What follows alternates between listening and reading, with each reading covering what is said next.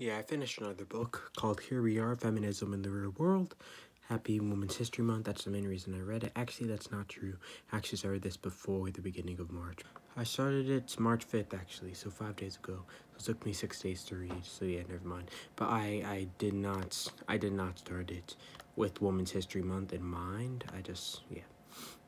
But yeah, I really like it. I really like it. Um, I'm just gonna tell you my rating right now, because honestly, I want to. Like 9.5 out of 10.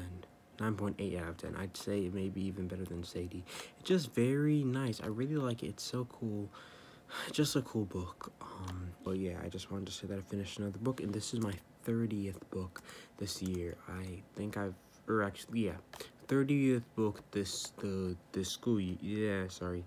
Yes, this school year. It is, I believe, my 14th book this year is in 2022, which is pretty good considering 2022 is kind of just started. Um, but yeah, I really like it. It was it was good. Next book I'm probably gonna read is Dear Martin by Nic Stone. Um, I've already read this book.